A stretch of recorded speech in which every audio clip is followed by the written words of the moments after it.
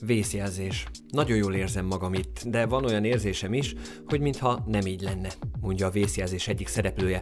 A csinos pincérnő és barátnője meghívást kap egy több napig tartó buliba a híres és gazdag vállalkozótól. Slater King magánszigetén folyik a pesgő, incsiklandóak az ételek, de ahogy múlnak a napok, elszabadul a pokol. A négyszeres Grammy díjas Lenny Kravitz lánya, Zoe Kravitz rendezte thriller főszereplője Channing Tatum mellett, többek között Christian Slater és Kai Meglesant is láthatjuk. De közben van egy olyan érzésem, hogy... Nem. Hamarosan Hol van a késem? Kivett el? Jesszusom, a szemed. Mi? Ja, jó, ugye? Valami furcsa dolog történik itt. Mindenki nevet és vigyorog, mint a 60-as évekbeli stewardeszek. Ugye jól érzitek magatokat? Igen, nagyon jól. Hát nem érzed? Valamiért. Rémisztő ez a hely. Hol van Jess? Ki az a Jess? A barátnőm ott lakott mellettem! Ébredj! Ébredj! Ébredj! Úgy érzem, elfelejtünk egy csomó dolgot. Jó, oké, de... Mitől? ugye most nagyon Valami manipulál minket.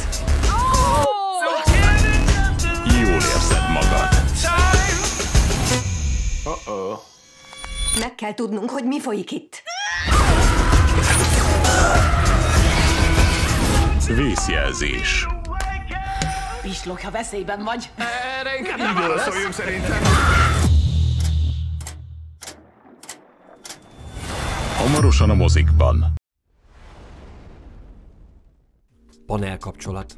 Felújított kópiával látható újra Tar Béla 1982-ben készült fekete-fehér filmje. Lakótelep, panellakás, 9 éve házas férj és feleség, állandó konfliktusok. Vannak kísérletek a házasság rendbehozására, strand, bál, kirándulás, de ezek mind csődöt mondanak. A férj elköltözik, visszaköltözik, igazi se se nélkület kapcsolat. A békülést és az új életszakasz kezdetét próbálják ünnepé tenni, vásárolnak egy új mosógépet. Akkor is együtt kell lenni, ha nem jó egymás mellett, mert különben még rosszabb. Együtt kell lenni még akkor is, sőt, különösen akkor, ha csak telik az a kurva élet. A film két főszereplője Pogány Judit és Koltai Róbert. Ez neked a strand?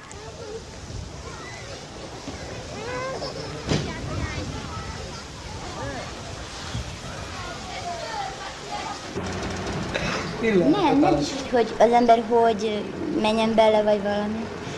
Inkább az, hogy a Robival tényleg a férjemmel nem igen jártunk táncolni már nagyon régen. Tehát ő nem tudja fölvenni az én hangulatomat, érted? Én meg, én meg borzalmasan bírok vágyakozni. Tehát ha már elmentünk ilyen helyre, hogy tánc is van, meg ne, akkor borzalmasan bírok vágyakozni. Bor, hát azt sose felejtem meg például lánykoromban, mikor még nem az, hogy gyakran, de agyrém volt, hogy én hány helyre jártam táncolni, kerthelységekben, nem tudom, iskolabulikban, szóval mindenhova, ahol létezett, én mindenhova elmentem. Olyan is volt, hogy táncversenyen táncoltam, és volt mindenféle tánc, mindenfajta tánc, keringőbe első lettem. Volt a twist, mikor volt még az...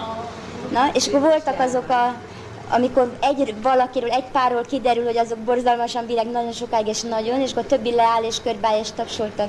És volt olyan, hogy órákig, órákig bírtam. Párizsi pillanatok. A nyüzsgő nagyváros negyedeiben mindig történik valami. Van, akit véletlenül halottá nyilvánítanak, van, aki paktumot köt Istennel, van, aki öngyilkosságra készül, de közben elrabolják. A Paradis Párizs szereplői között Monica Bellucci, Ben Aldrich és Rossi De Palma is megtalálható. Bellucci narcisztikus olasz operaénekesnőt, De Palma különc, idős kolumbiai asszonyt, Ben Aldrich pedig brit kaszkadőrt alakít. Mindhárman saját halálukkal kénytelenek szembenézni. A fekete komédia a Persepolisszal világhírűvé vált iráni rendező Marianne Satrapi Párizshoz szóló szerelmes levele. Putain, je l'adore. est mort dans son sommeil. Ça fait combien de temps maintenant? 3 ans, 4 ans Je sais, faut que je passe à autre chose. Quand on est vivant, bah on vit. T'auras tout le temps d'être triste quand tu seras mort. The pressure is okay? Yeah, it was great. Thank you for it. En plus, son accent, là, quand il parle, du sucre pour les oreilles. Même ma mort ne les intéresse pas. Faire le deuil de ses illusions, c'est sûrement ce qu'il y a de pire. Tout le monde s'en fout. Comment La vie, après tout, c'est l'ensemble des chances qui nous soustraient chaque jour de la mort. Vous n'avez qu'un seul devoir dans la vie, celui d'être heureux. À la vie. Jean. Comme le disait ma grand-mère iranienne, Dieu, si vous nous faites pas riches, au moins faites-nous cons qu'on puisse profiter de la vie.